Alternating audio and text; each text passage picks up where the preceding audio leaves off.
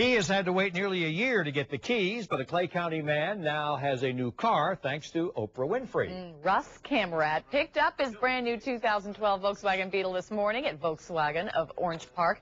And look at it, looks great. During last November's Oprah's Favorite Things episode, members of the audience found out they'd be getting the cars, but since it's a 2012, well, they had to wait 11 months. Kamradt's sister nominated him to be in the audience for the show because of all of the volunteer work he does in his community. He's been to Haiti. He works with the American Cancer Society. He has also donated 35 gallons of blood in his lifetime. Kamradt thought the episode was just recognizing volunteers. He didn't know it would be such a big giveaway.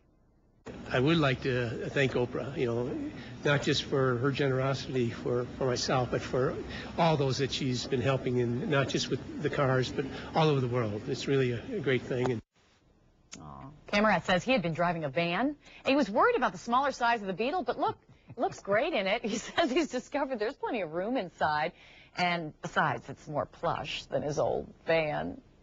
And if you're going to drive a Beetle, make sure it's a red Volkswagen, right? Absolutely. Sure. Russ, you look hot in that car. Congratulations. He's so thrilled. More on what is called the Hackerazzi scandal and the Jacksonville man charged with hacking into celebrities' email accounts.